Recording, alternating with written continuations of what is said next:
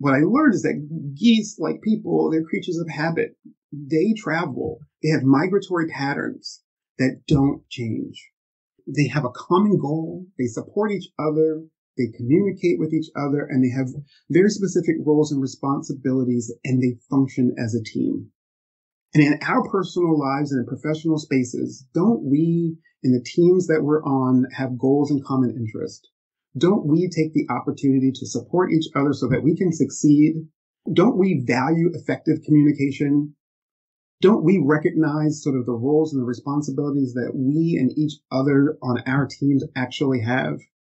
And we do this, especially at work in the context of teams, units, and programs and the departments that we work in. We definitely sort of value sort of these things.